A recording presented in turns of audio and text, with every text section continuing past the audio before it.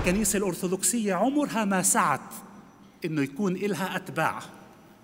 الكنيسة الأرثوذكسية عبر ألفين سنة سعت أن يكون فيها قديسين مؤمنين في جسد المسيح القائم من بين الأموات اللي بتذوقوا الحياة مع المسيح. وهم يتناولوا وهم يحضروا القداس الإلهي. وهم هم في بيوتهم في, في أشغالهم في جامعاتهم في كل شيء المسيح هو حاضر معهم. لأنهم هم أبناء الحياة.